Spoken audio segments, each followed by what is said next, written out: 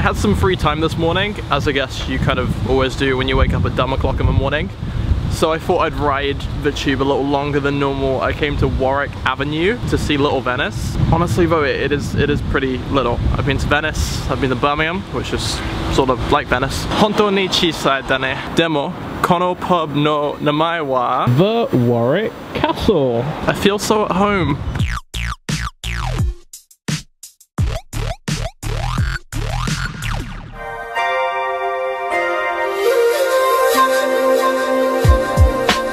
Still don't understand why they don't have aircon.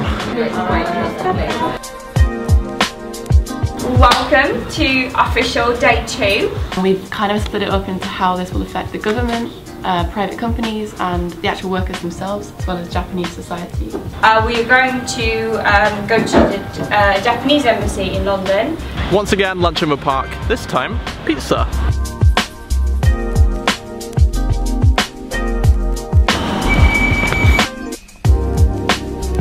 We're taking the train now to Green Park for two reasons. Firstly, the conference is moving to the Japanese embassy. We're having a tour. Secondly, she needs a passport. My passport is at the Japanese embassy now um, and we're here to collect it.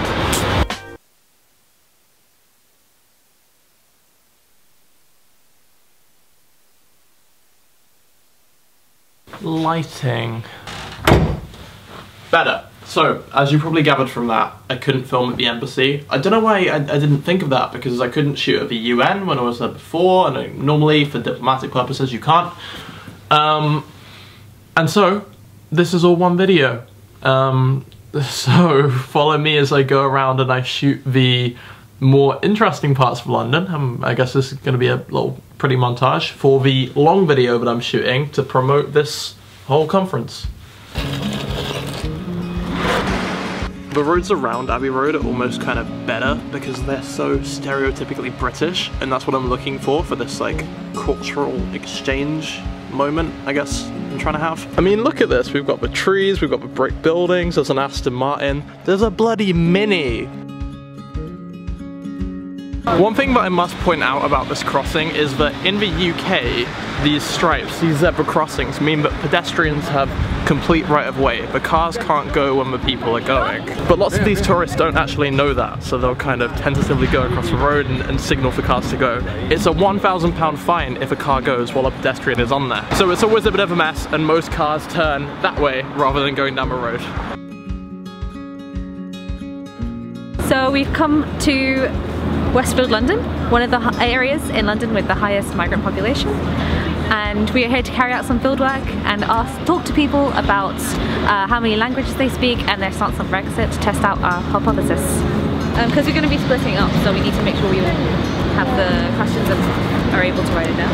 Excuse me, um, I'm doing a survey right now. Um, can you give me 30 seconds of your time, please? Yeah, why not? Um, I just have four questions for you. Yeah. Um, how old, how old are you? How old are you? Sorry. I'm 20. You're 20. Cool. Um, how many languages can you speak? Uh, one and a half. One and a half. What's the one in? Um, English and English. a bit of Japanese. Okay, cool. Oh, Japanese. Um, are you a UK resident? Yes. Okay. Um, cool. And would you say for Brexit you would say leave, remain, or neutral? Certainly remain. Okay. Thank you very much. Have a nice day. Thank you. And that's what they're asking. And now we've come to Kensington, which is an area with a comparatively much lower migrant population. So that was the end of yesterday's events. Uh, they collected all their data, they brought it back here to Daiwa and compared. Um, they actually met a really interesting person who I wasn't able to film.